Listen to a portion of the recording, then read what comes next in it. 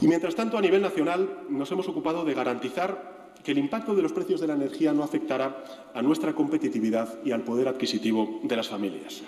Por eso nos hemos fijado el objetivo de lograr que la factura promedio de la electricidad de los hogares a finales de 2021 sea semejante, lógicamente descontada la inflación, a la de 2018. Y yo les digo, señorías, que es un objetivo que vamos a cumplir. Yo es que ya no sé si cortarme las venas o dejarme las largas. Vamos a ver, eh, señor mío, o sea, lo del doctorado fake es una cosa. Que se lo encargase a un señor que pasaba por ahí, que estaba en el Ministerio de Industria, es otra. Eh, que usted no haya tenido las santas narices de dimitir ni después de que se le haya pillado que tenía hasta el mismo párrafo repetido en la misma página. En la misma página, oiga, si va a hacer control C, control V, concho, hágalo tres páginas más allá en la tesis doctoral. También es verdad que de esto no le podemos culpar a usted porque tampoco hacía usted ni la copia, porque se la hacía un negro. Pero bueno, vamos allá, vamos a ver. Acaba de decir aquí nuestro querido presidente que dice que claro, que es que el precio va a ser igual al de no sé qué año descontada la inflación. ¿Saben ustedes lo que es la inflación? La subida de los precios. Enhorabuena, señor Sánchez. Vamos a ver, todo precioso igual al anterior descontado la subida. Muy bien, se ha quedado usted tan ancho. Yo no he visto una melonada así en mi santa vida. Claro, el pequeño problema, y ahora es cuando viene, cuando me corto las venas, es que está aludiendo con semejante chiste cutre, patético y, y de auténtico doctor fake, está aludiendo a un problema que en estos momentos tiene. Bajo pena de cierre a un montón de negocios, bajo pena de no saber si dar la luz o no dar la luz a un montón de hogares, y bajo pena de tocarnos las narices a todo el mundo, porque él prometió y aseguró en enero de este año que tenía solventado este problema. Sí, cuando Filomena. Teresa Rivera salió y dijo, no se preocupen, porque es que estas subidas por el tema de Filomena realmente corresponden a esto, un frío excepcional, porque luego vamos a tener el problema de la luz solucionado. ¿Solucionado? Estamos en estos momentos con la luz disparada con el gas disparado, con un riesgo real, diga lo que diga el gobierno, con un riesgo real de una posibilidad de cortes. ¿Se van a materializar o no se, van a, van a materializar? Yo no lo sé, pero es que yo estoy en la misma tesitura en la que está el presidente. Lo único que sabemos es que hay un tubo que se nos ha cortado, un tubo por el cual, con los cortes de ese tubo, más los cortes del tubo que nos llega desde Francia y que trae el gas desde Rusia, estamos con una caída, según el informe oficial de Nagas Winter Outlook para, estas, para este invierno, estamos literalmente con un corte del 35% con respecto al año pasado de lo que llegaba y todavía sacan a sus eh, filiales estas mediáticas a decir que es un bulo lo que estamos diciendo. ¿Cómo que es un bulo? ¿Es un bulo el informe de Nagas? El informe oficial depositado en Moncloa por Enagas, fechado el 29 de septiembre, donde dice que la reducción del gas que nos llega por los tubos, por interconexiones de tubo, va a caer o ha caído ya, con los contratos que tienen, un 35% es un bulo, pues vayan ustedes corriendo, no sé, a querellarse contra Enagas, señores del bulo, amigos del bulo. Bueno, por cierto, ¿quieren hablar algo de lo que es un bulo? Bueno, pues hablen, por ejemplo, el otro día, responsable del Partido Socialista en la Asamblea de Madrid, acusando al hermano de Isabel Díaz Ayuso de no sé qué, para acabar reconociendo que lo había dicho sin pruebas ¿Dónde están los cazafakes? ¿Dónde están esos cazafakes maravillosos? Por cierto, vamos con más datos de los bulos, ¿vale? El presidente del gobierno nos dice que tenemos asegurado que no va a haber cortes de suministro. ¿Y entonces qué hacen las grandes eléctricas trasladándole alertas y diciéndole a finales de enero podemos tener un riesgo real de un corte de suministro, de un apagón, apagón de luz, riesgo. Nadie está diciendo que obligatoriamente a finales de enero se va a cortar la luz. Nadie está diciendo eso. Lo que estamos diciendo es que la misma falta de previsión, la misma falta de cautela, la misma falta de saber gobernar que se mostró con el coronavirus se vuelve a repetir con el gas, se vuelve a repetir con la luz, se vuelve a repetir con los precios en general. Tenemos en estos momentos los precios con un encarecimiento del 5,4. ¿Saben cuánto va a crecer la economía? Pues según Bruselas, menos del 5. ¿Saben lo que significa eso? Que este año no hay recuperación de poder adquisitivo con respecto al año del COVID. Nada. Ni una gota de recuperación. Volvemos a perder poder adquisitivo. Porque todo lo que se ha crecido, que se ha crecido en base a inyectar el dinero público que nos llega del BCE y el dinero que nos llega desde Bruselas, porque no ha habido más, se lo han fundido. Se lo han fundido. Y que con la inflación lo cierto es que este año volvemos a perder poder adquisitivo. Por cierto, las cifras de crecimiento que estimaban ellos, los de las noticias fakes, los perseguidores de noticias fakes, aseguraban que este año vamos a crecer por encima de un 6,5. Bruselas nos está diciendo que ni siquiera el próximo año vamos a crecer por encima de un 6,5. Por tanto, ni siquiera con lo del próximo año recuperaremos. Y todo esto sin contar con la inflación. Y estos son los que dicen que persiguen noticias fakes. Estos, estos mismos. España está hecha un desastre desde que llegaron estos señores. La administración no funciona, los ERTES llegan tarde. El ingreso mínimo vital, que nunca se debió plantear como una medida estructural, no está llegando a las familias con vulnerabilidad, como las llaman ellos. El otro día anuncian una medida para el nuevo Fondo Térmico Social. ¿Saben cuánto han puesto en este año en el que puede haber un riesgo real de corte de calefacciones y está el precio disparado? El Fondo Térmico Social toca a 3 euros por mes y hogar. 3 euros por mes y hogar. Lo dividimos entre miembros de hogar, un euro. Un euro. Ya es que solamente le falta a Pedro Sánchez salir por la ventanilla del coche oficial y tirarte el euro a la cara y que lo recojas del barro. Estos son los que hablan de noticias fakes.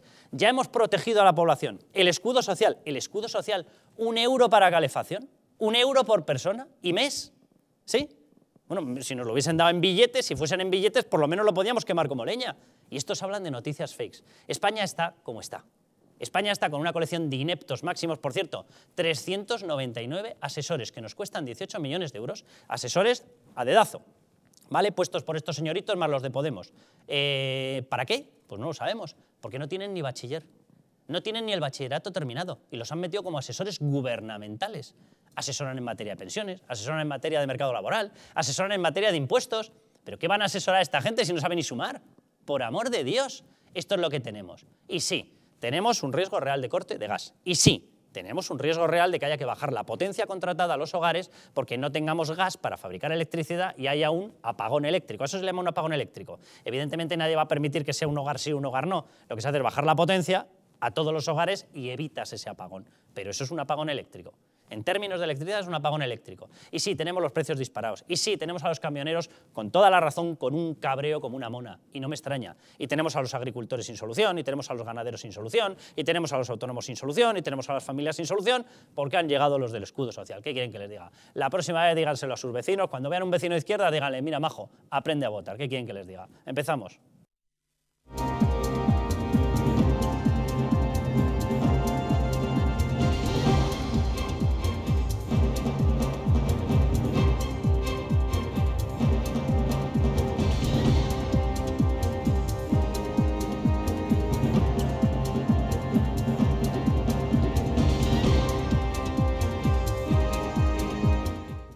Jesús Ángel Rojo, bienvenido. Buenas noches, Carlos. Un ¿Tú también aquí. vives igual que el año pasado sin contar con la inflación? O...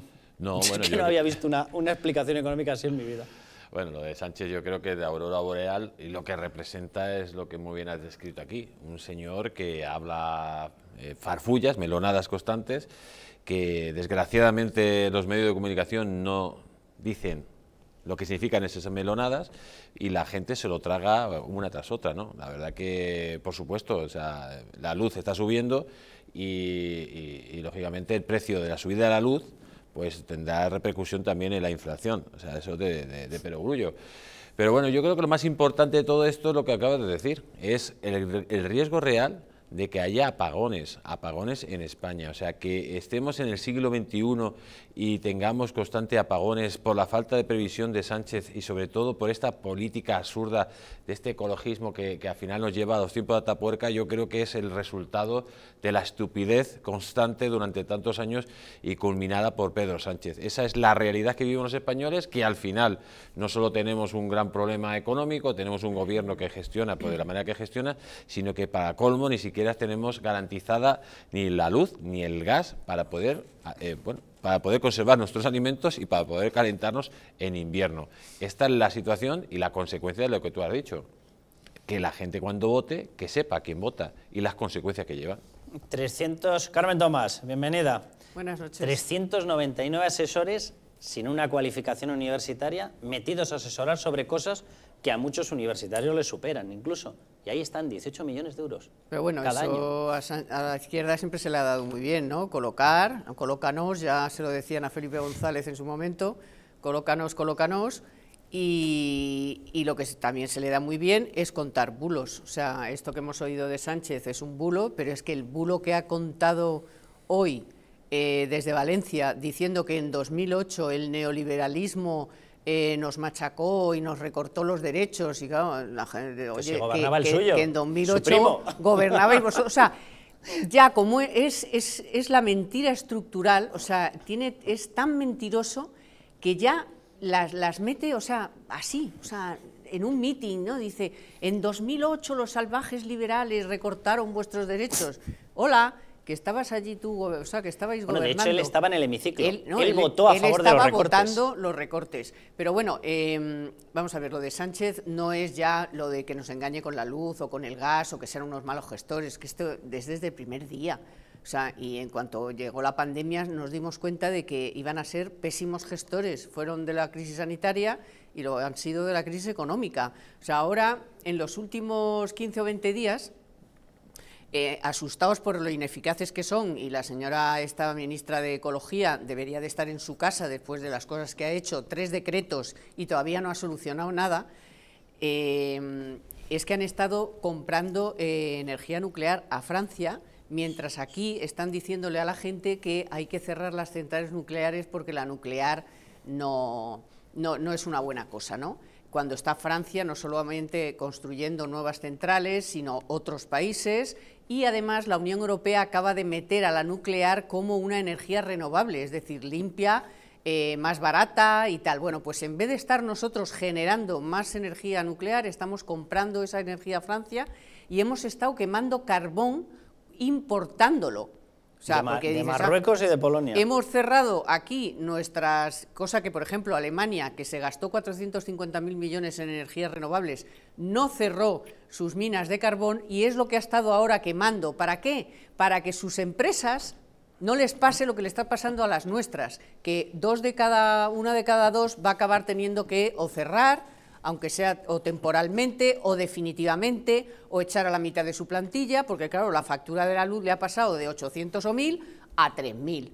Y luego está el problema de los, de los contenedores, que esta es otra, o sea, el problema del abastecimiento de otro tipo de materiales que tiene paradas a muchas fábricas, eh, a, medio gas a muchas eh, eh, automovilísticas, que están cerrando turnos y echando a la gente a casa, o sea, eh, y estos tíos hablándonos de que en el, mm, la luz va a ser la del 2018, pero sin el IPC no sé cuántos. Yo de todas maneras no estoy de acuerdo contigo en una cosa que has dicho, Rojo, y es que la gente no se entera. Mira, la prueba de que se entera es que no pueden salir a la calle.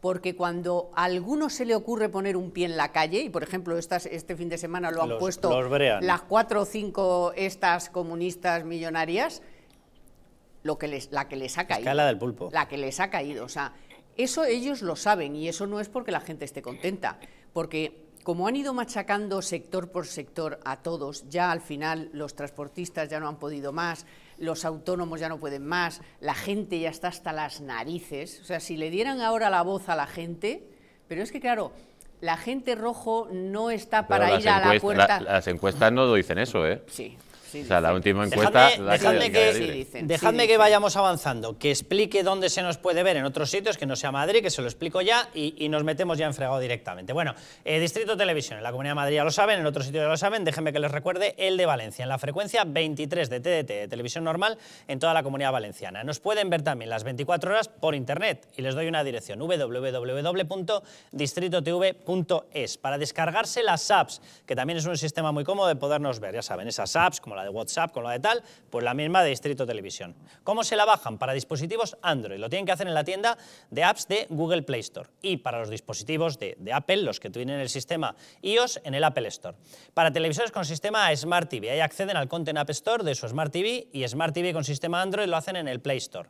Para poder descargar la aplicación. Con dispositivo Fire TV Stick, ahí también la tienen y lo pueden hacer con dispositivos de Google Chromecast, dispositivos Amazon y dispositivos Xiaomi. En todos ellos tienen esas apps y déjenme que les recuerde que una empresa de bioingeniería española llamada Bio, tras ocho años de investigación orientada a alargar la vida de las personas, ha creado una unidad de regeneración celular para usar en el hogar que está dando unos resultados asombrosos. Ya se ha demostrado científicamente que mejora la síntesis de proteínas, que aumenta la energía en las mitocondrias y que facilita la regeneración de tejidos. Y esto puede cambiar la vida de millones de personas, pero en especial de aquellas con problemas de ronquidos, problemas respiratorios o que estén preocupados simplemente por retrasar el envejecimiento. Y lo más importante, no tiene efectos secundarios. Se basa en cuestiones físicas, no en cuestiones químicas. Disponen ustedes además de un 15% de descuento y también de 15 días para probarlo gratuitamente. Llamen al teléfono 900-730-122, ahí lo tienen en pantalla, y cuenten su caso. Les van a explicar cómo la unidad de regeneración celular Bio les puede ayudar, les va a sorprender. Bueno,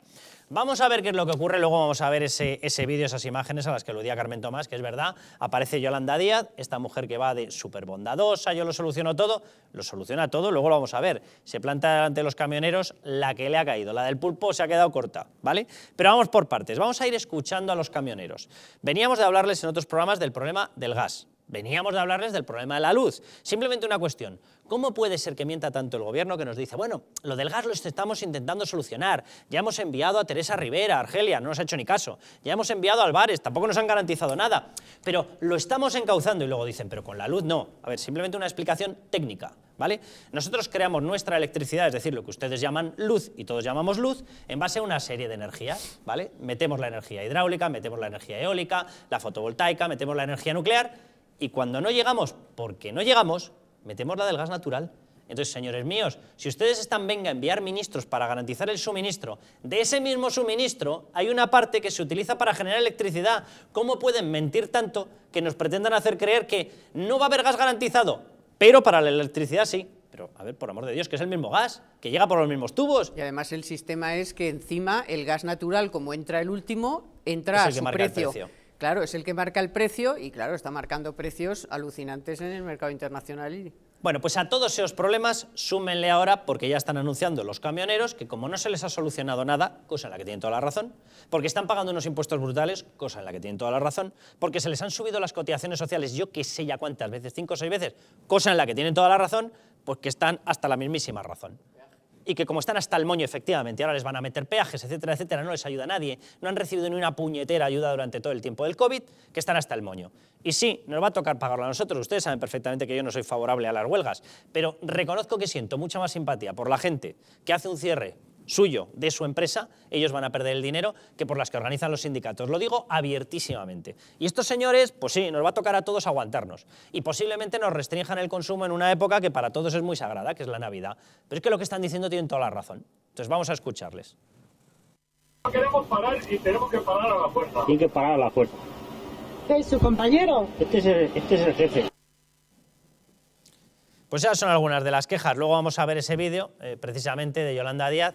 ¿Qué os parece lo que está ocurriendo y, sobre todo, qué os parece la actitud del Gobierno? ¿El Gobierno va a poner alguna solución alguna vez a algo? algo? Si es que el otro día eh, se, van a reunir, que no se reunían nunca, se van a reunir y no está la ministra. O sea, no se, no se, ah, no, tiene la, vergüenza de, de sentarse en la mesa con esta gente que han sido héroes durante la Filomena, héroes durante la pandemia, porque no nos ha faltado de nada en los supermercados, de nada en, las, grandes eh, comercios. No ha faltado nada, no nos ha faltado eh, verdura, comida, carne, eh, nada. O sea, y eso es gracias a toda esta gente. Toda esta gente que no dejó de trabajar, que no dejó de dejarse la piel y ahora están soportando Carburante, eh, subida de, todo tipo de cotizaciones, de autónomos, de ingreso mínimo vital y de, de, SMI, de todo lo que quieras. Todas las tonterías de los ataques ecojetas, de que es que tú contaminas, tú no contaminas. ¿Y cómo quieres que te llegue el producto a tu casa? Claro. Que con paloma mensajera ahora, tiene que llegar. Es que pues, ahora vamos a coger y vamos a, a mejorar el transporte por ferroviario. Mira, cuando yo empecé a hacer economía, es decir, en el Pleistoceno, ya se hablaba, ya se hablaba de que no, de que cómo era posible que en España el 80% de las mercancías viniera por carretera, que había que empezar a pensar, o sea, y te estoy hablando de hace que 30 años y seguimos igual y ahora les amenazas con que eh, a ver si voy a, a, empezar a poner el transporte, o sea, encima les amenazan, es que encima les tienen amenazados con esto ahora del ferrocarril que se lo han sacado de la manga luego, lo vamos a ver. Claro, entonces dice, y ahora encima les quieres poner peajes. Y encima a X por kilómetro, o, lo de Portugal, o lo que sea, porque hay dos métodos distintos. O sea, es que de verdad, por favor, y es que ni les recibes. Es que son muy, muy, muy caraduras. Más testimonios de los camioneros explicando lo que les ocurre. El transporte está muy mal, muy mal. Y esto hay que parar ya por el bien de todos. Tema de autopistas, de gasoil, empresas o recortes de empleados y, o, recorte de sueldos. No solo conducir, nos obligan a descargar, a cargar. ¿Quién quiere esto? Yo porque llevo ya 30 años aquí, ¿quién lo quiere? No lo quiere nadie. Esto es a lo que yo eh, me refería con el tema de la actitud. O sea, los primeros que no lo quieren son ellos. Pero es que evidentemente se has llegado al punto en el cual ya no puedes más, no hay margen de beneficio, pues chico, eh, eh, tendrán que hacer algo. O sea, evidentemente nos vamos a fastidiar todos, pero tendrán que hacer algo. Yo lo único que les pediría es que yo creo que lo mismo que tienen razón en lo que están exponiendo, tengan razón posteriormente en las formas en las que lo hagan. Y tengan claro que lo que tienen que hacer, pues sí, pues tienen que tener evidentemente una muestra de que tienen capacidad para presionar, pero que no se pasen hasta el punto en el cual se acabe perdiendo por las formas la razón que tienen en el fondo. Vamos a escuchar a otro porque habla de los costes. Entre esos costes está el de la energía, que no ha solucionado el gobierno están los impuestos que los ha subido el gobierno. Están las cotizaciones que las ha subido el gobierno. Estamos asumiendo una serie de, de, costes que no hay, no hay forma de repercutirlos a los clientes. Tienden cobrar por el uso de, de, carreteras, no hay ni bares para poder comer o, o servicios. Estamos al límite. Jesús Ángel. Una idea, hablabas tú de 400 asesores de Pedro Sánchez que que eran ninis, que ahora están viviendo a costa del erario público y, y, supuestamente esta gente se tiene que dedicar a asesorar a Pedro Sánchez, ¿no? Pues que esos 400 trabajen un solo día de camioneros. Un solo día con la responsabilidad que tiene un camionero, con los kilómetros que tiene que hacer, con todos los peligros que tiene que asumir, eh, que tiene que dormir en gasolineras que muchas veces les atracan, eh, que, que viven camiones, en un hilo, y los camiones que se los destrozan. Eh, que luego tienen, como tú dices, que pagar sus cotizaciones, que tienen que llegar a tiempo con la mercancía, porque cuando no llegas a tiempo, sobre todo con las mercancías perecederas, a ver lo que pasa.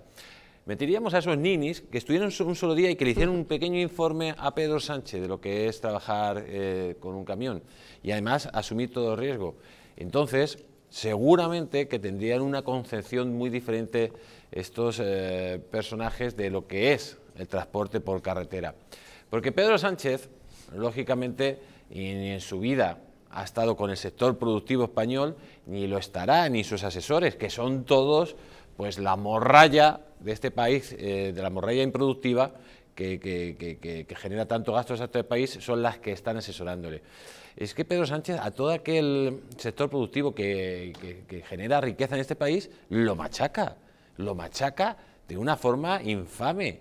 Son los camioneros, las pequeñas empresas, las empresas en general.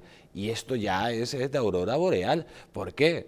Porque esta gente no cree en el trabajo, no cree en la, España que levanta al país, en la España que da trabajo. No, no, no. Ellos solo creen en sus paniaguados y en, sus, en, en que han subvencionado para que vivan ellos a costa del Estado y sobre todo les mantengan. Entonces, ¿qué es lo que pasa? Un camionero que se recorre, imaginemos un camionero que va de aquí a, a Berlín, los kilómetros que tiene que hacer, el sufrimiento que tiene que hacer, eh, las penurias que tiene que pasar, pues lógicamente, y aparte, no solo eso, sino que tiene que mantener su camión, que tiene que pagar los impuestos y encima el combustible cada día es más caro. Entonces llega un momento que dice, no me merece la pena ni trabajar, porque es que gasto más que el beneficio que tengo. ¿Y qué es lo que ha hecho Pedro Sánchez para ayudar a los camioneros, que son básicos para mantener el sistema de abastecimiento en este país? Nada perjudicarlos, subirle los impuestos, ahora ponerle viajes en las, autopistas a ellos y a todo el mundo, siguiendo, cobrándole las, eh, pero las autopistas no, las autovías. Eh, eh, las autopistas, lógicamente, las siguen pagando.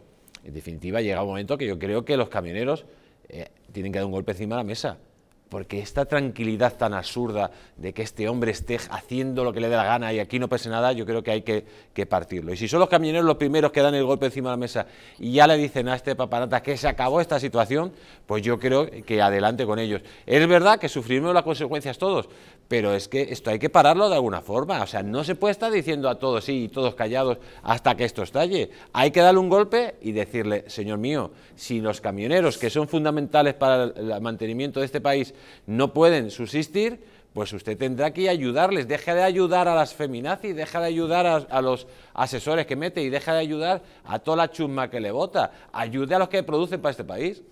Dejadme que veamos la reacción que se encuentran los camioneros cuando piden un interlocutor. Dicen, vamos a hablar con el gobierno, ¿vale? Vamos a hablar con el gobierno.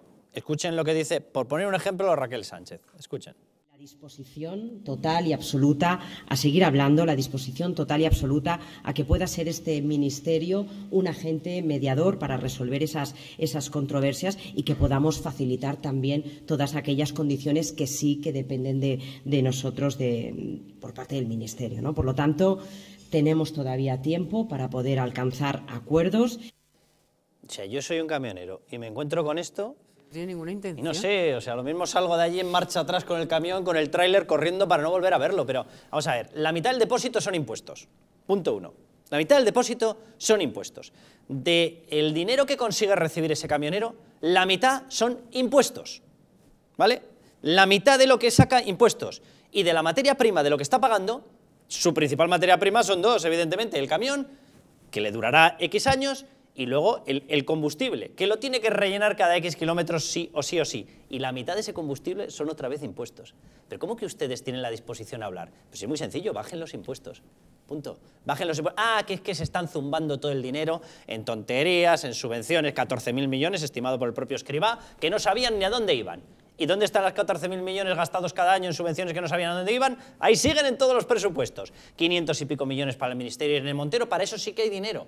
Bueno, qué casualidad. Y cuando resulta que van a dar algo de dinero, vamos a escucharle también a Raquel Sánchez, ¿a dónde va? A los retos ecológicos.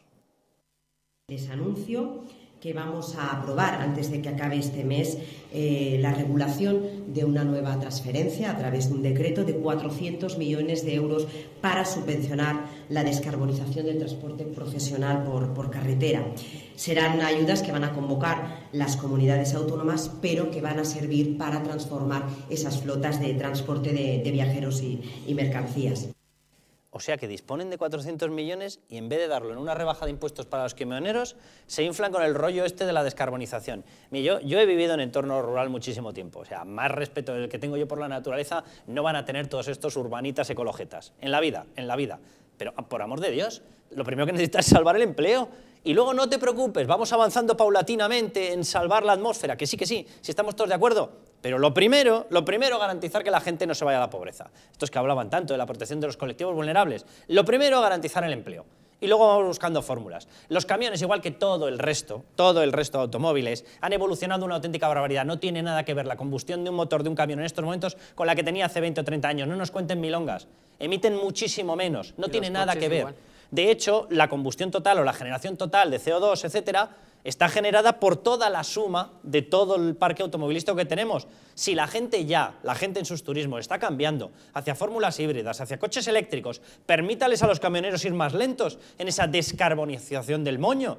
Déjenles que los hagan a un paso medianamente normal de forma que no se vayan a la quiebra. Es decir, piensen en algo más que en Greta Thunberg. Piensen en algo más, piensen en la gente, para de variar. todas maneras, de todas estas cantidades millonarias que anuncian todos los días y tal, eh, lo de, bueno, el, el- el ejemplo más palmario es lo de La Palma. O sea, ¿cuántas veces ha, ha anunciado Sánchez los millones de La Palma? Bueno, pues todavía no han llegado ni un euro a La Palma. O sea, ni euro. Hoy mismo el vulcanólogo especialista de no sé qué ha dicho, hombre, sería conveniente que llegara alguna Algo, ayuda algo. que llegara alguna ayuda, porque ese tío ha ido seis veces, perdón, el presidente del gobierno ha ido seis veces a La Palma, ¿eh? seis veces ha cantado allí que iba a llevar no sé qué, y no ha llegado ni un duro.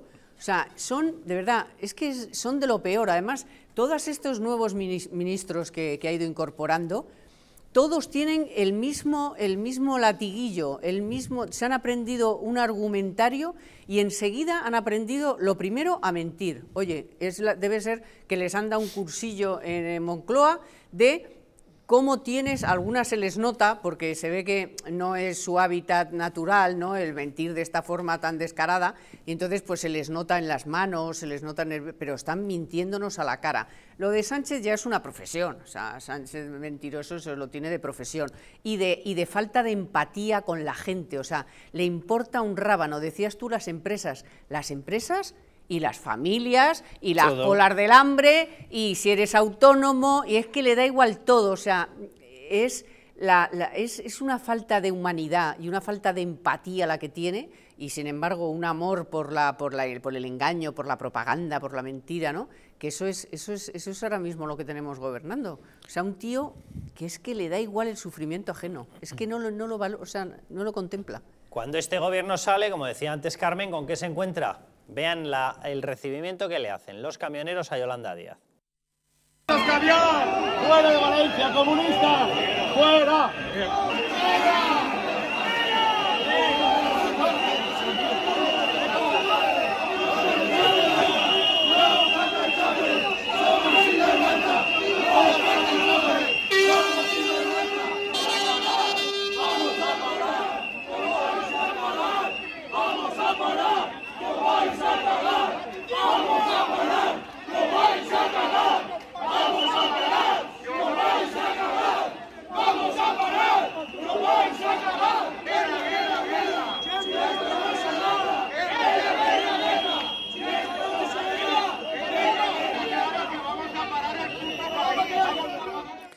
Fíjense que yo miro y me parecen más trabajadores los del chaleco que Yolanda Díaz.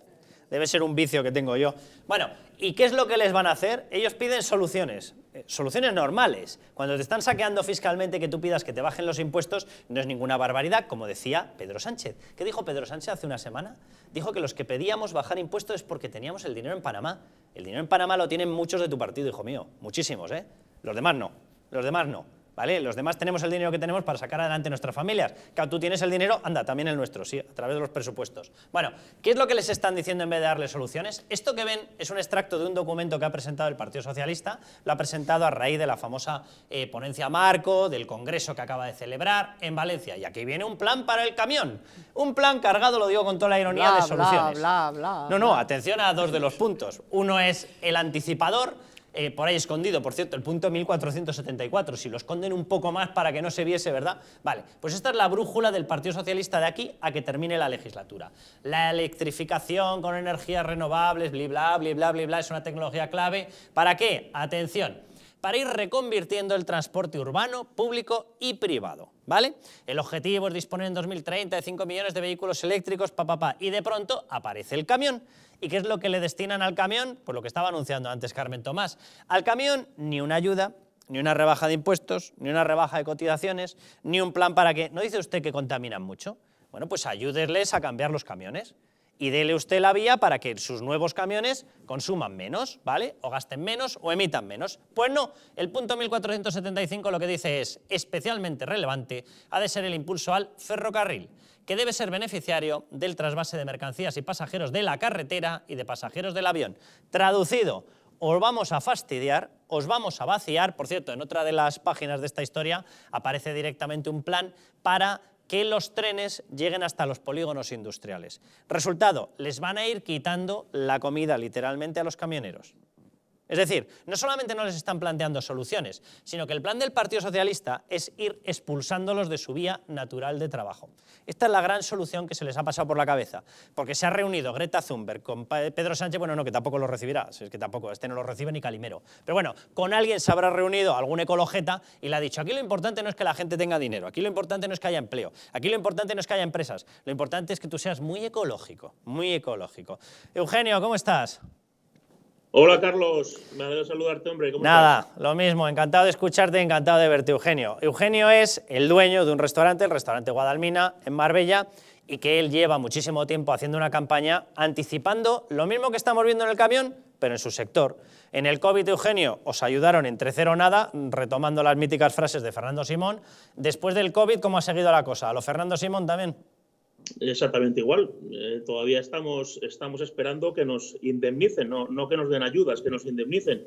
Pero mira, ahora miro, mira, yo por lo menos me alegro, no me alegro, por supuesto, me, sol- me solidarizo absolutamente con, con todos los camioneros y con todo el sector que en este país lo haya pasado mal por la incompetente actuación de este, de este gobierno. Pero ya iba siendo hora de que, de que algún sector saliera a la calle. Esto es lo que deberíamos de hacer todos, principalmente los hosteleros que hemos sido los más perjudicados en todo esto. Y que, y que, y que aún, aún más, porque obviamente los camioneros van a subir lo- los precios con razón y a todos los productos nos van a llegar más caros. Así de claro. Vosotros, durante todo este tiempo, eh, habéis tenido, ya sé que son preguntas retóricas, pero lo, lo hago precisamente para que la gente lo escuche. ¿Habéis tenido alguna rebaja de impuestos? A- absolutamente ninguna, pero no solamente eso, Carlos. Mira, yo es que estoy. Pero déjame, déjame que hagamos la, Sí. la enumeración, así la Sí, gente sí. coge la idea de lo que está pasando en España. Lo digo porque a vosotros, igual que a tantos otros, se os ha dicho no pasa nada, salimos más fuertes, no vamos a dejar a nadie tirado. Yo creo que debía ser la frase no vamos a dejar a nadie tirado sin escupirle, o algo así debía ser la frase. Rebajas de cotizaciones sociales tampoco, ¿verdad? Cero. Ayudas para, eh, no sé, paliar determinada situación, poder cerrar una zona, poder asistir a vuestros empleados, tampoco. Nada, nada, cero. Ayudas para que renovéis eh, los espacios y pudierais tener depuradores de aire en época COVID, etcétera. Nada, nada Tampoco. de nada. Bien, O pues sea, está, bien, ¿no? solamente, solamente algunos hosteleros han recibido alguna ayuda por parte de sus ayuntamientos, de sus ayuntamientos, pero que van desde los 1.000 hasta los 3.000 euros. Y eso sí has tenido unas pérdidas superiores al 70%. Vale, si tú no, estás- ni- Eugenio, tú estás en hostelería, básicamente yo creo que podríamos resumir el tema en cero ayudas durante todo este tiempo. Vale. Absolutamente. De los sectores profesionales con los que tú tienes contacto, a través de, eh, pues yo qué sé, compañeros, etcétera, el turismo en bloque está igual. Bueno, yo otros sectores, la, verdad, yo no sé si habrán recibido algún tipo de indemnización. No, la verdad que no lo sé. Lo que es la hostelería, te puedo asegurar que por parte del gobierno, nada. Pues ya, te digo, ya te digo yo, Eugenio, que por las quejas que están haciendo todo el resto, tampoco el turismo, tampoco los camioneros, tampoco los agricultores, tampoco los ganaderos, tampoco los autónomos. Nadie, nadie. Ni, siquiera los del volcán de La Palma, vamos. Eh, es que es lo que te iba a decir, pues están, están, es que son mentirosos, joder. Es que están prometiendo ayudas y dinero y, no hacen nada, no llega ni un duro. Hoy, hoy le escuchaba al, al traidor que tenemos como presidente del gobierno que va a dar también unas unas ayudas para, para, crear puestos para, para las para las, eh, eh, las guarderías, puestos para guarderías, no sé cuántos millones de, euros. Pero si no hay dinero, si se lo han gastado todo en sus chiringuitos sociales, en el Ministerio de Igualdad, se, lo, damos a los marroquíes para que, para que traten de, evitar que, que, la, la, la, inmigración ilegal y no están haciendo nada. Estamos regalando el dinero, estamos regalando, Carlos. Fíjate, hay un caso, Eugenio, que lo comento contigo, no, no te toca a ti, evidentemente, pero lo comento porque eh, durante todas las entrevistas que yo he visto después del tema, de que comenzase el, drama del, volcán en La Palma, muchas de las entrevistas deslizaban un mensaje, ¿vale? Y ese mensaje era, a nosotros se nos está realojando en polideportivos y resulta que a los inmigrantes que llegan se les mete en hoteles. en hoteles. Luego la gente dirá lo que quiera. Diga, no, demagogia, populismo y un pimiento. Es que es mm. verdad. Es que Eso es una realidad. Es que es una realidad, pero ¿por qué no lo vamos a decir? La gente de La Palma, es así, es una realidad. O sea, ¿por qué no lo vamos a decir? Oye, si, los inmigrantes cuando llegan tienen una dignidad y hay que meterle en hoteles, eh, la gente que ha perdido su negocio, que ha perdido su casa, etcétera, en La Palma no tiene una dignidad. Ellos no. ¿Por qué? ¿Porque pagan pues, impuestos en España por qué? Al, al, parecer no, al parecer no. Los españoles no tenemos ningún derecho a nada, a nada, a pagar impuestos. Eugenio, ahora, ahora, que se va viendo, ahora que se va viendo que ni los datos económicos son de recuperación real, porque la inflación va a ser superior al crecimiento del PIB, ahora que se va viendo que además mentían, decían que íbamos a crecer en un trimestre un 2,8 y luego lo tenían que corregir y era un 1,1, ahora que vamos viendo que la inflación ha, ha superado cualquier previsión, etcétera, ¿tú qué perspectiva ves de recuperación o no recuperación en la economía en base a tu sector? Pues mira, yo creo que esto va un poco por barrios, la verdad. Las cosas, como, son en las grandes ciudades, me imagino que lo, notarán menos, pero en las zonas, en las zonas de interior, en las zonas rurales, se nota muchísimo, se nota muchísimo. Como, como tú bien sabes, yo reparto mi tiempo entre Marbella y el norte y, y se nota, se nota, de verdad. O sea, hay muchísimos bares y restaurantes que antes funcionaban, trabajaban medianamente bien y ahora es que no tienen nada, nadie, Nadie. O sea, es una, es una barbaridad. Bueno, es que no tienen nadie porque es que la gente no sale a gastar. O sea, es, así. O sea, es que no es lo mismo un bar, un restaurante en Madrid que un bar, un, restaurante en un pueblo de Lugo. ¿Han cerrado muchos compañeros tuyos, Eugenio? En Marbella, en, Marbella la verdad que no. En Marbella no. ¿Vale? Pero yo sé, o sea, te sales un poquito de la zona de Marbella, te metes un poco hacia hacia el interior y han cerrado muchísimos restaurantes, muchísimos y eso es empleo que ya no se recupera, obviamente. Eso está, eso está claro, pero yo no sé también ese empleo dónde va, Carlos, porque yo estoy buscando gente desde hace tiempo y no la encuentro. Yo sigo todavía buscando gente y no hay. O sea, que es que es, algo extraño esto, de verdad. Yo es que no, no, lo entiendo. Yo creo que las ayudas, las paguitas, van para la gente que no quiere trabajar, porque luego a los sectores que quieren trabajar no se les ayuda y se le pone pancadillas. Mira, te quería contar eh, antes, eh, Carlos, cuando me, me, has preguntado sobre si hemos recibido en la hostelería algún tipo de ayuda. Aparte de que no hemos recibido nada, pero yo, yo personalmente he intentado aplazar el impuesto del IVA y no me lo han permitido. Y no solamente eso, sino que me ha llegado el modelo 202, ¿vale? que es, es, una provisión de, de, fondos sobre el impuesto de sociedades y he tenido que pagar 25.000 euros. Es una auténtica vergüenza. O sea, encima estamos financiando Hacienda. Estamos financiando Hacienda nosotros. En lugar de ellos ayudarnos a nosotros, nosotros ayudamos a ellos para que luego se lo gasten en gilipolleces, en regalárselo a los catalanes, a los vascos y en montarse sus, sus chiringuitos. Eugenio, un abrazo muy fuerte y, ánimo. Y muchas gracias por atendernos. Muchísimas gracias a vosotros. Pues aún no les puede... Lo de las ayudas a las empresas fue tal vergüenza, o sea, de una, de una, de una, de una sinvergonzonería. Luego estabas viendo cómo Francia, eh, Italia, que son países muy turísticos, ok, pero Alemania, o sea, tampoco es que Alemania precisamente sea un lugar donde sea el número uno del turismo. Oye, hasta allí bajaron el IVA a los restaurantes y a los bares, o sea, alucinante. Y luego eh, ellos estaban todo el rato vendiendo lo de los ICO, los ICO, y yo desde el primer día dije, los ICO luego no se van a poder pagar. Bueno, pues porque fue lo que pasó además en la crisis anterior, que al final el 80% de los créditos del ICO no se pudieron pagar y fueron insolventes. Bueno, pues ya el Banco de España la semana pasada dijo que en torno al 60% de momento de los créditos ICO que hay que empezar a pagar ahora en el 22 ya los está marcando como Incobrables. absolutamente inco- incobrables. O sea, entonces, claro, o sea, tú, eh, vamos a ver, la ayuda es que la gente se endeude. O sea, pero, pero, pero vamos a ver, o sea, ¿en qué cabeza cabe? O sea, te está- te- es- le estás cerrando el negocio y encima se va a endeudar para salir del, del- del bache. O sea, es que son cosas de verdad. Jesús que- Ángel. Bueno, la verdad que ayudas cero en todos los sentidos. Como ha dicho muy bien Eugenio, la- lo único que está haciendo el gobierno de Sánchez es saquear a las pequeñas empresas y a las, empre- y a las grandes. Eh, es ahora mismo la, la, eh, la inspección de Hacienda se ha convertido en una auténtica gestapo que eh, está haciendo inspecciones a diestro y siniestro sin demostrar nada. Te va tienes que tener tú el principio de que ellos tienen que demostrar para ponerte una sanción. Eso no existe en Hacienda. Eres tú el que tienes que demostrarles a ellos que ellos mienten. Y esto es una vergüenza. Aparte te están poniendo sanciones eh, por, ante- por anticipadas. Tienes que pagar el dinero y luego reclama. Esto, lógicamente, es la política de acción social del gobierno para las empresas, que claro, las empresas son las que están dando, eh, pagando impuestos y manteniendo este país. Porque lo vamos a repetir, es que Sánchez no ayuda al sector productivo de España y esto va a tener unas consecuencias lamentables. Luego lo que decía eh, Eugenio también es muy importante, o sea, ¿cómo es posible de que haya 4 o 5 millones de personas aquí eh, en el paro y en el sector de la hostelería, como hacía en un vídeo que se hizo viral, no se encuentre gente para trabajar? ¿Por qué? Porque es que Sánchez lo que está haciendo es generalizar no el trabajar. subsidio. ¿Os acordáis en Andalucía que estuvieron 30 años con el PER, con las subvenciones, etcétera? Lo que quiere hacer es que toda España sea un auténtico PER. ¿Para qué? Para que nadie trabaje. Y mientras tanto, pues ese voto cautivo le siga votando a él. Y esa es la situación que vivimos en España.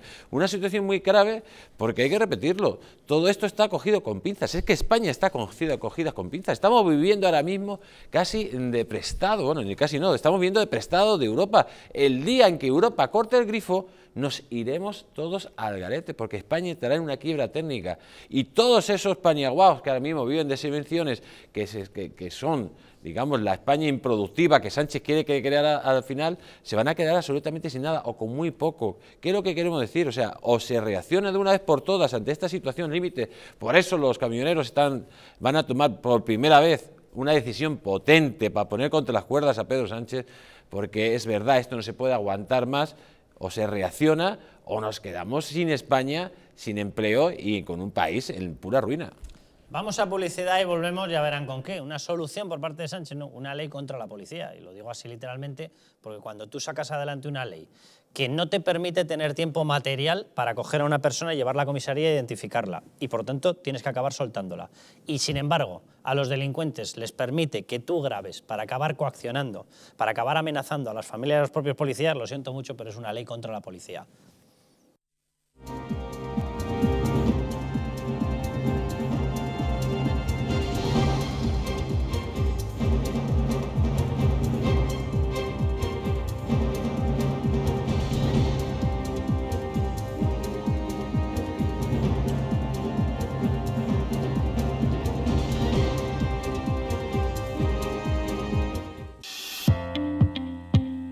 Empresa de bioingeniería española llamada Bio, tras ocho años de investigación orientada a alargar la vida de las personas, ha creado una unidad de regeneración celular para usar en el hogar que está dando unos excelentes resultados. Ya se ha demostrado científicamente que mejora la síntesis de proteínas, aumenta la energía en las mitocondrias y facilita la regeneración de tejidos. Eso puede cambiar la vida a miles de personas, pero en especial a aquellas con problemas de ronquidos, respiratorios o preocupadas por retrasar el envejecimiento. Y lo más importante, sin efectos secundarios, ya que es física y no química. Si llama usted al 900-730-122, puede consultar su caso y le explicarán cómo la unidad de regeneración celular Bio le puede ayudar. Se sorprenderá. El cuidado de la flora intestinal es esencial para el bienestar digestivo, el metabolismo y el sistema inmunitario. La combinación de prebióticos y probióticos de Symbioline Megaflora con dos mezclas estandarizadas de LA5 y BB12 aporta más de 35 billones de microorganismos vivos. Y la vitamina B6 contribuye al metabolismo energético normal. Symbioline Megaflora, de Mundo Natural.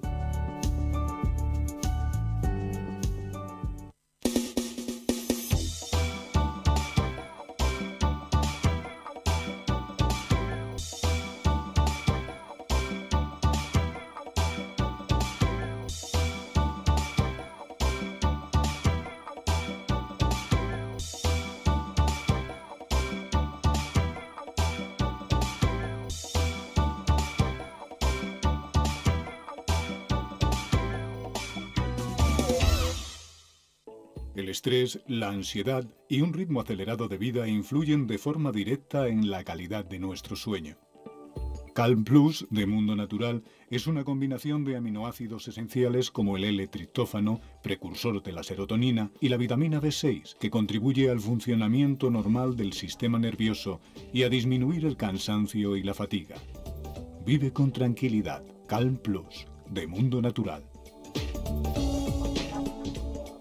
¿Sabías que en España hay 30.000 muertes por infarto cada año? ¿Sabías que después de un infarto cada minuto transcurrido disminuye las posibilidades de sobrevivir un 10%? ¿Sabías que una ambulancia de media tarda en llegar a nuestra casa entre 10 y 12 minutos, produciéndose 3 de cada 4 infartos en nuestro hogar? Nace en España el proyecto Protege tu vida con el objetivo de salvar más de 7.000 vidas al año. Ahora, salvar tu vida depende de ti. Crea en tu hogar un espacio cardioprotegido con el mejor desfibrilador y de fácil uso. ¿Qué precio le pones a tu vida? Llama ahora al teléfono 900-730-061 o entra a nuestra página web www.protegetuvida.eu y verás que proteger tu vida cuesta muy poco. ¿Quieres dormir tranquilo sin pensar en si cobrarás tu alquiler? Con nuestro servicio de gestión integral podrás olvidarte de tus preocupaciones porque Arrenda se encarga de todo, pagándote el día 3 de cada mes sin excusas. Si tienes una vivienda alquilada o estás pensando en hacerlo, contáctanos. Arrenda, el alquiler seguro y garantizado.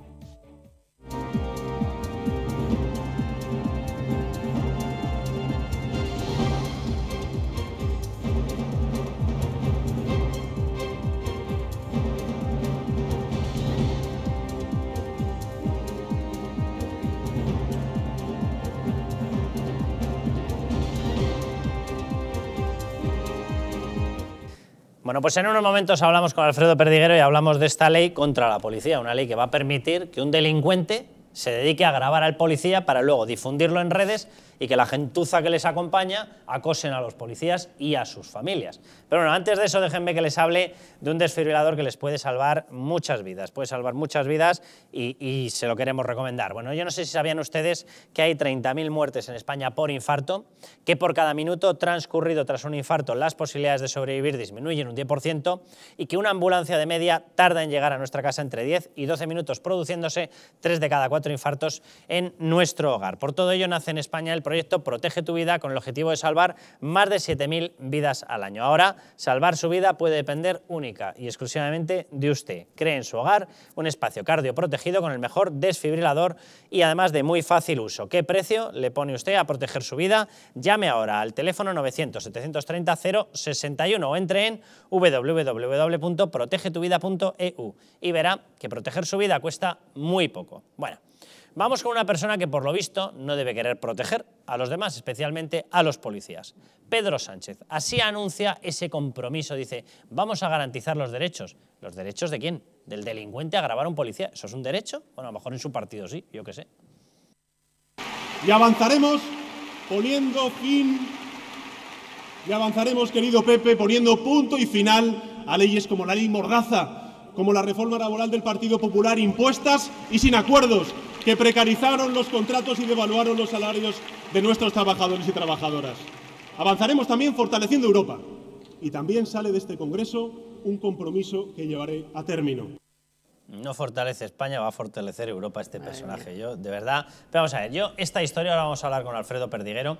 Ya tenemos las bases esenciales, por cierto, que no se han negociado con la policía, de la futura ley que va a regular la protección que tienen los policías cada vez que acuden a intentar salvaguardar la ley y el orden de todos nosotros, ¿vale? Cada vez que acuden para jugarse ellos la vida o su integridad y acuden precisamente para garantizar nuestra vida y nuestra integridad, ¿vale?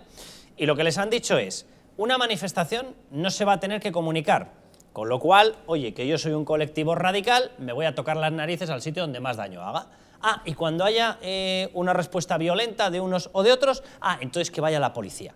Que como son de otra división, ¿verdad? Que vayan allá y que corran peligro ellos. Porque es que yo soy muy guay y así quedo de que, oh, ¿cómo permito la libertad de expresión y el derecho de manifestación? El derecho de manifestación se permite en todas partes salvaguardando los derechos de quienes no se quieren manifestar. Pero que además esto ya lo hemos hablado. Oye, no tiene por qué ir ni los proetarras a donde están las víctimas, ni los neonazis al barrio donde están los homosexuales. Pues no tienen que hacer allí la manifestación. Se va usted a otro sitio que molesta mucho menos y me deja usted en paz. Y me garantiza el orden público. Con la nueva ley se va a permitir eso.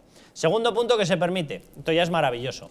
Eh, hasta ahora eso que ellos llamaban ley mordaza, que nunca lo ha sido, impedía que se grabase a un policía. Ahora se va a poder grabar a un policía en medio de una reyerta, en medio de un ataque, en medio de un disturbio. Con lo cual le grabas al policía, lo distribuyes entre tus chats, entre los chats de delincuentes, entre los chats de violentos, entre los chats de radicales y, oh qué casualidad, el policía se encuentra a la vuelta con que han amenazado a su mujer, a su familia, a él mismo, le han pinchado las ruedas del coche y esto lo llaman derechos. Esto lo llaman derechos. Tercer punto, simplemente por darles una tercera nota.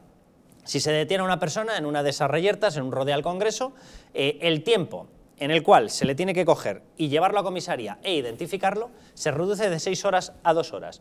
Yo le pediría al señor Marlasca, aquel que tanto corre en esa cinta de correr que se ha pagado con todos los impuestos de todos los demás, eh, que nos haga una demostración de cómo físicamente se puede hacer eso.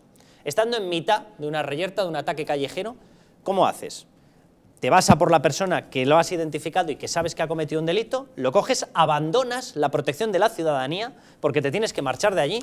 Claro, no lo vas a llevar a hombros, tendrás que llevarte una de las unidades donde están las UIPs, una de las furgonetas, con lo cual dejas sin apoyo a tus compañeros, te marchas de ahí hasta llegar a la comisaría, tardas 45 minutos, tienes que llegar, la comisaría está llena, ah, y qué casualidad, como han pasado dos horas lo tienes que soltar, porque no lo has podido identificar, pese a saber que ha cometido un delito. Bueno, al propio agente les doy una cuarta nota y ya abro la mesa, se le restringe, se le retira esa presunción de veracidad de la gente.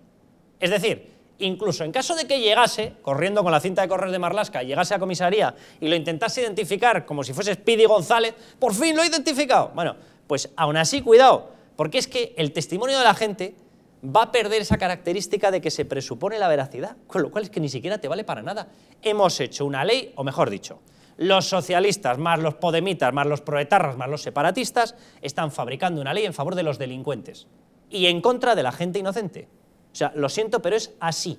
Cuando tú desproteges a los inocentes, cuando desproteges a la gente que cumple con la ley y proteges a los delincuentes, lo siento mucho, tú estás en asociación con unos delincuentes. Es que además está, o sea, precisamente eh, la policía, la Guardia Civil, son los que tienen el deber de protegernos y eh, el derecho a defenderse, quiero decir, son los que tienen el monopolio de la fuerza, pero eso está ahí en la Constitución, o sea, eh, entonces dejar ahora a los policías, eh, pero totalmente vendidos a esta, a esta batulea de, salvajes, ¿no? Pues entonces, claro, el, el, que, el que pateó al policía que está condenado y fuera del Congreso, ese, ¿qué hubiera pasado? Ese nada, ese estaría tan contento en el Congreso después de haber pateado a un policía. O sea, eso es lo que quieren. O sea, es que es alucinante que Marlasca, que Marlasca, pero ya, vamos, ya dejo a Sánchez por eh, Marlasca, que también lo tengo bastante dejado, pero no sé, a ver si todavía le queda algo ahí que, le... ¿Cómo es posible que Marlasca esté, esté en esto, esté a favor de esto? O sea, un tío que ha luchado en su momento, que, que luchó contra, contra los medios de ETA, eh, me resulta me resulta alucinante que un personaje como Marlaska pueda estar avalando el que, el que toda esta gentuza pueda poner en riesgo la vida de, de los, de, de las fuerzas de seguridad y de sus familiares, porque al final nunca sabes si van a ir detrás de este tío y no pueden, pues a lo mejor van al colegio de los niños. ¿Sabes lo que te digo? No, la verdad que es que eh, nos preguntamos cómo se puede hacer una ley tan infame. Es que, claro, si Al Capone estuviera fuera el alcalde de Chicago, pues seguramente que haría leyes a favor de todos sus matones y todos sus sicarios. Pues esto es lo mismo. eh, Podemos y el Partido Socialista pues están haciendo leyes a favor de todos sus matones, de todos sus sicarios y todos los eh, sicarios y matones de su socio de gobierno. Esta es la realidad. Están dejando a la policía a pie de los caballos, están dejando al ciudadano a pie de los caballos, porque al final, si llegamos a una conclusión con todas estas premisas, ¿qué tenemos en el gobierno? Presuntamente unos delincuentes, Eh, porque esta ley, si se hace esta ley, es una ley criminal. Porque es una ley a favor de los criminales y del delito. Y esta es la realidad que todo tenemos que hablar. O sea, esto no es eh, estamos en una democracia, se puede aprobar mil leyes, eh, pero es una ley donde al, al delincuente se le da todas las premisas para poder hacer lo que le dé la gana y a la policía y al Estado de Derecho se le pone todas las dificultades para poder actuar. Esto no es un- una ley normal de un Estado De una democrático. democracia, desde luego. Es la ley de, de- de Al Capone, es la ley de, de la mafia, de esta metamafia que nos está gobernando. Y esta es la realidad donde vivimos, es esta la realidad tan triste. Estamos en manos de estos personajes siniestros que ahora lo que quieren es darles el control, que ya lo tienen, por ejemplo, en Cataluña ya es vergonzoso, en Cataluña el otro día dieron una paliza a unos mozos cuando fueron a hacer una detención, en Peñíscola el otro, eh, eh, no sé si fue el sábado, a la Guardia Civil llegaron unos moros y la palearon también diciendo que era- fuera la Guardia Civil de esta zona. O sea, si la policía no tiene eh, argumentos, no tiene el armamento o, o el poder para poder actuar, pues entonces daremos el, poder a, la- los salvajes, a las llenas, y por lo tanto el Estado de Derecho, la democracia y el bienestar desaparecerá. Pero eso es lo que quiere Sánchez. Esa es la situación que está generando, porque está cultivando todo esto, no solo para que ya tomen el control, sino para un futuro. Imaginemos que en un futuro perdiera las elecciones y entrara el centro derecha. Ya está preparando las calles para que las calles revienten y nos reviente todo esta gran bomba en la cara de todos. Carmen ha dicho antes una cosa que es la base de la convivencia pacífica en sociedad, que es que la policía, es decir, un ente con todas las garantías de legalidad, de legitimidad, es el que mantiene el monopolio de la fuerza. Eh, mucha gente desde la izquierda, mucha gente desde la izquierda, voy a repetir la frase, mucha gente desde la izquierda, no estoy diciendo desde la izquierda radical, en la izquierda radical mucha gente no, todos. En la izquierda mucha gente en estos momentos está diciendo y identificando ese monopolio de la fuerza con la violencia. Hay que tener la cara muy dura. Violencia es lo que ejercen sus compañeritos, incluso muchos de sus militantes, ¿vale? Pero sobre todo sus compañeritos, los proetarras, los separatistas, los golpistas, los comunistas. Estos sí, estos muchos de ellos ejercen violencia, porque no tienen el uso legítimo de la fuerza. El uso legítimo de la fuerza es legítimo porque va respaldado por la ley. Y la ley es la que, lo que nos protege en sociedad de los abusos contra nuestros derechos y libertades. Esa es la base, lo que ha explicado Carmen. En el momento en el que tú desmantelas ese monopolio de la fuerza y se lo quitas a la policía, se lo estás entregando de facto al más fuerte, traducido, al más bestia. ¿Vale? ¿Quiénes son los más bestias? Los más violentos. Efectivamente, ellos están preparando una transición en la que se elimina la base de una convivencia pacífica, que se basa precisamente en que sea la policía la que con toda la legalidad y legitimidad mantenga ese monopolio de la fuerza.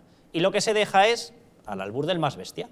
¿Quiénes son los más bestias? Pues evidentemente los más radicales. ¿Y dónde está en estos momentos la radicalidad? Estos que tanto hablan de extrema derecha y extremas tonterías. No, no, la radicalidad está en ellos. Está en los comunistas, está en un montón de izquierda que ha pasado de ser una izquierda medianamente normal y moderada, muchos han pasado a ser una izquierda radical, están los golpistas, están los proetarras, como para no estar en los proetarras, si no han dejado de ser etarras. Bueno, pues todo ello se basa precisamente en ese plan. Quitamos el control del monopolio de la fuerza para que sea no el monopolio, sino el ejercicio de la violencia. Y ese ejercicio de la violencia lo tienen ellos. Eh, quiero que escuchemos en qué se basan estos razonamientos, porque claro que hay un planteamiento previo.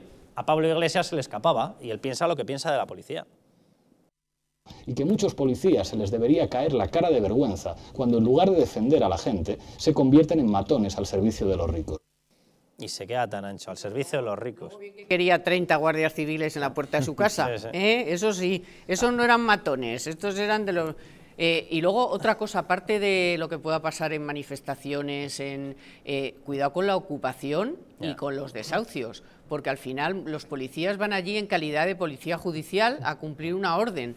Eh, eso en los desahucios, pero es que eh, si tampoco pueden eh, desocupar las casas de, gente que se te ha metido dentro de, eh, sea lo que sea, puede ser que sea una persona que, que- que tenga esa segunda residencia o que te has ido a, de fin de semana y te la han ocupado o que, o que te has ido al médico, que no sé qué, que le pasó a una, una mujer mayor hace poco. O sea, miles de casos, que es que eso está proliferando porque ya tienen dificultades para, para poder eh, desocupar las casas, ahora ya vamos, ahora ya venga, ala, venga, entra y, y- y ni- y no se podrán ni acercar. Alfredo Perdiguero, ¿cómo estás? Don Carlos Cuesta, buenas noches. No sé si te sientes muy tranquilo viendo la evolución de esta ley de seguridad ciudadana. Pues no podemos estar tranquilos los cuerpos de seguridad, Carlos, porque al final tú lo, has, lo habéis resumido. Eh, al final das cancha, das más, más pábulo a los violentos, a los malos, y encima casi casi como les que les proteges un poco más de cara a nuestra intervención en la calle. Por tanto, no podemos estar tranquilos. Ningún policía, eh, ningún, cuerpo, de seguridad a nivel nacional, Carlos. Por eso tenemos el día 27 convocado una manifestación eh, para que sepan que, evidentemente, los cuerpos de seguridad, todos a nivel nacional, estamos en contra de la modi- modificación de esta ley. Te dejo, te dejo que hagas publicidad toda la que quieras. Menciona el sitio donde se convoca, fecha, hora. Por cierto, que va a ir Isabel Díaz Ayuso, ¿no? Creo. Eso ha comunicado en los últimos días en las redes sociales, por tanto, bueno, pues agradecer eh, el apoyo de los políticos que son los que tienen que cambiar esta ley y modificar esta ley. Por ¿A tanto, qué hora, a qué hora lo tenéis? ¿A qué hora lo tenéis, Alfredo? El día 27 a las 12, Carlos. Vale, ¿y dónde? est- ¿Y dó- ¿Me escucha? En castellana. Me- no me- por si no me escucha, dile... Creo, creo que no le oyes a Carmen Bueno, Tomás, pero ahora te lo traduzco Vale, yo. en la noche de Dieter el otro día, eh, Borra del CESIF dijo que se unía a la manifestación de los Que policías. el CSIC va a ir con vosotros también. El CESIF con F. De Con los F, con F, funcionarios, con F. sí, sí. sí. La Eh, central de funcionarios, sindicato de funcionarios, el que no está ideologizado. mayoritario. Los que se dedican a defender los derechos de los funcionarios, no a meterse en mandangas políticas, sí. Así es, es decir, vamos, ya digo, eh, Jusapol, que es eh, la, eh, la- la- la plataforma que se creó, se creó para justicia salarial, es decir, pedir la igualdad entre económica entre policía guardia civil y autonómicas, ha convocado a todas las corporaciones y todas las corporaciones, el Chancha, Mossos, Policía, Guardia Civil y policías locales, vamos a acudir ese día para, eh, ya digo, reivindicar que esta ley es cualquier cosa menos una ley de seguridad ciudadana. Así que 27 imagínate, a las 12 en Madrid, en castellana. Pues si me hacéis hueco, allí me tenéis, ¿eh? Eh, a mí, pues Ya. faltaría más, ¿sabes? Carmen Siempre Tomás se nos une también. hombre. Siempre que, sabes que siempre es muy bien recibido, Carlos, y te queremos mucho por la defensa que haces de nosotros. Pero fíjate, que- fíjate, Alfredo, luego te voy a poner un ejemplo concreto de lo que es esta norma, pero antes de eso te, te explico el porqué de mi razonamiento. Uno, por lo que tú acabas de decir. O sea, vosotros sois absolutísimamente necesarios. Y el reconocimiento a lo que hacéis por cuatro duros, perdóname que te lo diga, eh, todavía más. Pero es que en este caso, mm, esta ley de seguridad ciudadana estaba muy bien llamada y está muy mal llamada por la izquierda cuando hablan de ley mordaza, porque esa seguridad ciudadana a vosotros se os, se os desprotege ahora.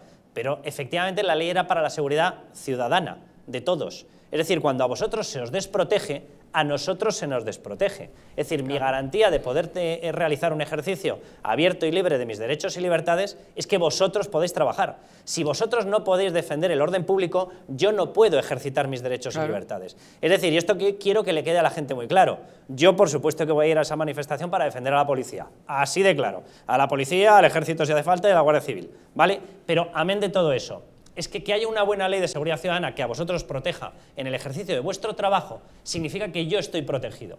El delincuente a lo mejor no, me importa un soberano comino, pero yo sí, porque yo no soy un delincuente. Entonces, mi protección de mis derechos y libertades depende de que vosotros tengáis garantizada vuestra seguridad y vuestra protección.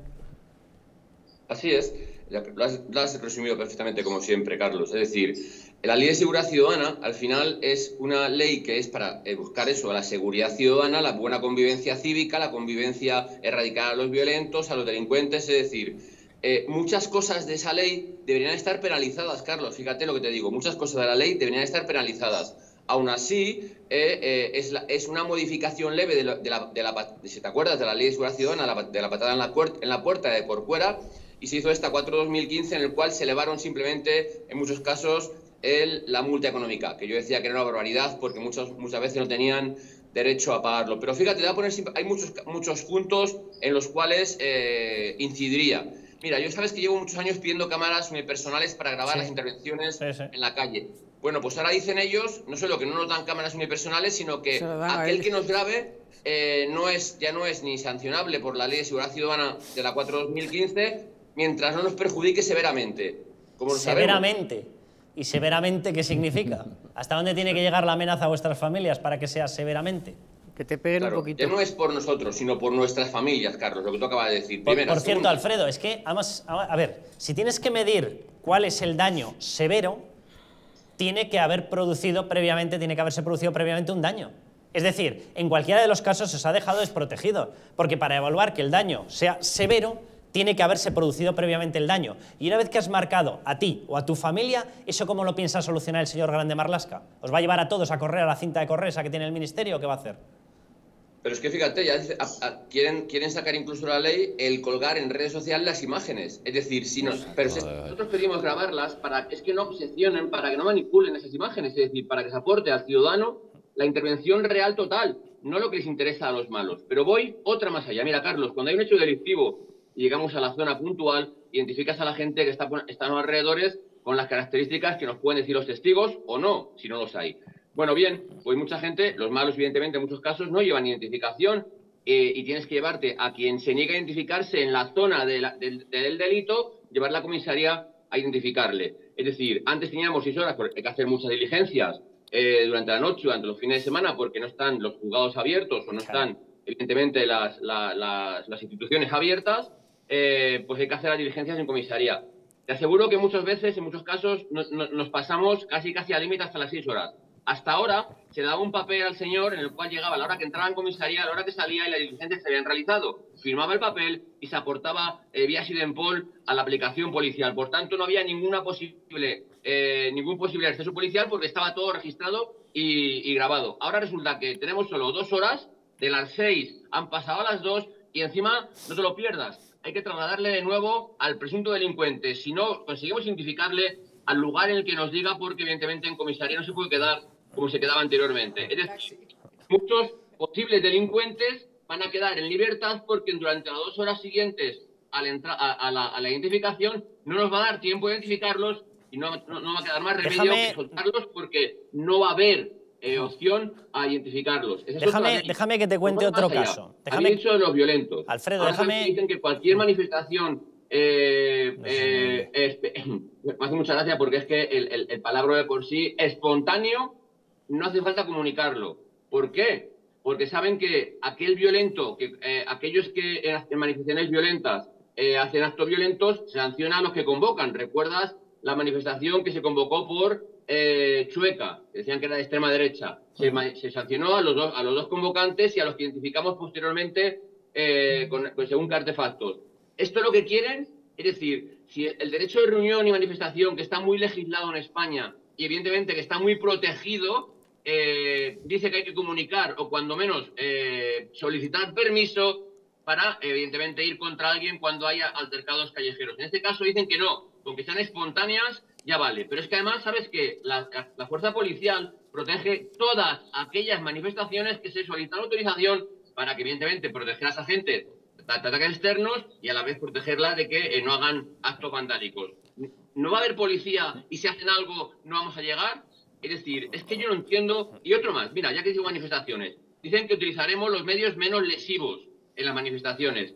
Vale, hemos visto compañeros, hay compañeros que eh, han jubilado después de las actuaciones del 1 de octubre en Barcelona, en Cataluña, por reventar los cascos, por quedar eh, paralítico, por no ver bien, porque les han fracturado incluso los cascos. Nosotros nada más que lanzamos botes de humo cuando es necesario o pelotas de goma. No tenemos ningún artefacto más. Y aún así, ¿qué quieres que lancemos contra el que nos lanza piedras, nos lanzan bolas, rodamientos? ¿Qué hacemos? ¿Qué lanzamos? ¿Besos y flores? Es decir, es- entramos en una dinámica muy jorobada, Carlos, para que, eh, para que pongamos orden en las calles y, a- y apliquemos eh, sentido común y orden Alfredo, público. déjame- déjame que tanto, mencione que deben un último- Todos los partidos que tengan un poquito de sentido común para que evidentemente estas irregularidades, estas barbaridades, estas cosas que no deberían ni haberse tocado, eh, se dé pábulo, como decís, a los violentos, porque desde luego, mira, el que, el que está en la calle tranquilamente no tiene miedo a la policía. El que tranquilamente eh, va a un lado tal no tiene miedo a la policía. estos que no nos quieren, estos que simplemente lo que quieren es que no desaparezcamos o que no estemos y que quieren manipular, desde luego no lo van a conseguir porque estaremos. Somos ejemplo de orden público a nivel internacional, nuestra UIP y nuestros, eh, nuestra, nuestro antidisturbio de la Guardia Civil. Y que por tanto ahora quieren cercenarnos y hacer como los mozos. Primero pelotas, luego pelotas de Juan y ahora no, tienen nada. Veremos a ver los primeros altercados que hay orden público en Cataluña, qué hacen los compañeros de los mozos, que digo, porque si antes de tirar piedras, rodamientos, quema contenedores eh, e incluso hace barricadas para ir contra ti, no tenemos que lanzarles nada, Veremos a ver cómo acaban, porque desde luego las calles de España corren peligro. Alfredo, muy, muy rápido, no, no sé si me estás oyendo, eh, muy rápido porque nos hemos quedado prácticamente sin, sin tiempo. Ponía un ejemplo, Carmen Tomás, sobre el tema de la ocupación. Claro, otra de las cosas que se os retira es el hecho de que vuestra versión valga frente a una persona que os denuncia a vosotros por una agresión en una reyerta y vosotros habéis perdido, vais a perder con eso, la presunción absoluta de veracidad. Vale, pongamos ese caso, ¿vale? El de un piso ocupado. Vosotros acudís tenéis la orden judicial de que tenéis que sacar a la gente, pero en el momento en el que acudís, va y resulta que esa gente dice malos tratos del policía.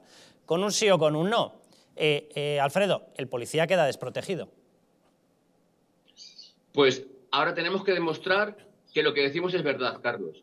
Con lo cual, queda, no tenéis, no tenéis cámaras, ergo quedáis desprotegidos. de este gobierno de España a los ocupa siendo un delito en el Código Penal, sino que ahora tenemos, como tú dices, tenemos que demostrar que lo que decimos en el Estado policial es verdadero. Toma ya. Es decir, ya no tenemos veracidad en el hecho y solo es esto, y esto lo hacen, fíjate, por, por, el, por el podemita pateador de policías, Alberto Rodríguez, es decir, como simplemente dijeron, esto de Podemos, que la veracidad del, del, policía eh, simplemente era eso, el, el testimonio del policía, ahora resulta que ya hasta nos quitan eso, la veracidad en el hecho enunciado. Pero ¿tú te crees, Carlos, que tenemos interés en ir contra uno u otro, o alguien o quien sea, eh, penalmente? Que nosotros comunicamos al Estado en diligencias policiales, comunicamos a los juzgados quién ha hecho un presunto hecho delictivo. Nos da igual cómo se llame y quién sea. Y ahora tenemos que demostrar que eso que decimos es verdad. Ya digo que es el remate. Veremos a ver, ya digo cómo acabamos, porque desde luego alguien tiene que poner un poquito de sentido común, porque este no es el camino para el Estado de Derecho. Alfredo, un abrazo muy fuerte y muchas gracias. Muchas gracias, Carlos. Y, nos, veremos allí, el en 27. Ese, en ese caso último que ha puesto, entonces la función del juez, donde, o sea, que decir, si ya lo que dice el delincuente es la verdad, pues ya para qué van a juzgar ni nada. O sea, es que de verdad es una cosa. ¿Y cómo lo pruebas si la única forma de probarlo sería llevar una cámara y le niegas una cámara a la policía? Totalmente, no. La, verdad que es que lo que Sánchez es, lo que quiere hacer es dejar a la policía indefensa por una sencilla razón. Eh, Sánchez pretende que las calles sean de los violentos, por lo tanto, que sea de él y de su socio de gobierno. Y esto ya lo vivimos en su momento en la Segunda República, lo vimos claramente como los paramilitares de izquierda pues eh, utilizaban la violencia constantemente, incluso contra ellos mismos, para imponer el poder. Y es lo que quiere hacer este tipo. O sea, ¿qué es lo que quiere? Que cuando se vaya a dar un mitin, eh, en cualquier lado, en Cataluña o en el País Vasco, ya lo hemos visto, cada vez que va determinados partidos políticos, pues eh, se lanzan contra ellos para que no puedan decir una opinión diferente a la dictadura que hay allí. Aquí en Madrid, en las elecciones de Madrid, Podemos, apoyado por el PSOE y por toda, toda esta banda de guarros, pues lo hemos visto igual que lo que querían, que no se pudiera en las calles decir opiniones diferentes. Y para hacer eso, que es lo que tienen que dejar a la policía sin protección, para que ellos dominen las calles y que la violencia, que haya una gran caleborroca, pero a nivel nacional, y que el miedo sea constante de todo el mundo, y con el miedo se pueda controlar a las grandes masas y futuras manifestaciones y futuros pensamientos diferentes. Ese es el pensamiento totalitario del comunismo, si es que lo hemos visto en multitud de casos. Lo vemos en, Venezuela, como tiene paramilitares Maduro, no hace falta mandar a la policía de Maduro, a la policía terrorista que tiene Maduro, manda a sus paramilitares y directamente las, manifestantes salen corriendo porque es que los matan directamente. No, en Cuba, mira en Cuba, ahora Lo que está pasando. Déjame que avancemos, que si no nos vamos a quedar sin tiempo y además como estábamos hablando de ocupas estábamos hablando también de impagos y pisos, etcétera, pues miren, les doy un consejo. Yo no sé si quieren ustedes dormir tranquilos sin pensar si van a cobrar o no van a cobrar el alquiler, si están pensando en arrendar su vivienda, si ya la tienen habitada pero tienen problemas de cobro, eh, o si directamente no tienen tiempo para ocuparse de las llamadas de sus inquilinos. Bueno, estas son algunas de las preguntas que se han hecho los propietarios de viviendas y a las que el equipo de profesionales de Arrenda con más de 12 años de experiencia ha sabido dar respuesta. Seguro de impago, asesoramiento especializado, departamento legal propio para resolver judicialmente cualquier problema con su inquilino sin que tenga que hacer ningún desembolso. Todo ello forma parte de la especialidad de Arrenda Alquileres. Arrenda es un referente del sector inmobiliario que destaca por asegurar y garantizar a los propietarios el cobro de su renta el día 3 de cada mes. Si usted también quiere olvidarse de las preocupaciones y cobrar su renta el día 3 de cada mes, infórmese sin compromiso llamando al teléfono gratuito 900 120 121 o en la web arrenda.es. A publicidad.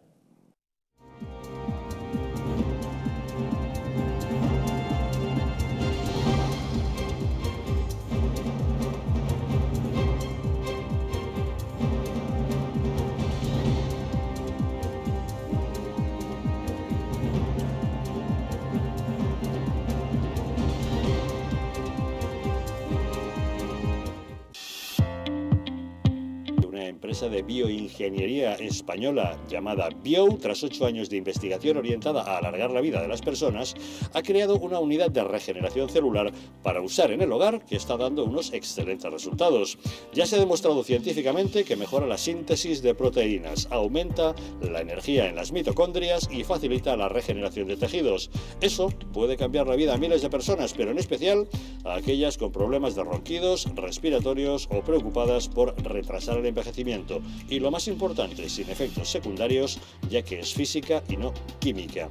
Si llama usted al 900-730-122, puede consultar su caso y le explicarán cómo la unidad de regeneración celular Bio le puede ayudar. Se sorprenderá. La presencia del colágeno en la composición de huesos, piel, ligamentos, cartílagos y tendones es imprescindible para frenar su deterioro. Sin embargo, a medida que envejecemos, su producción se reduce. Colacel Antiox de Mundo Natural combina en una misma toma colágeno hidrolizado puro, antioxidantes, ácido hialurónico y vitamina C que contribuye a la formación normal de colágeno. Haz del tiempo tu gran aliado. Colacel Antiox.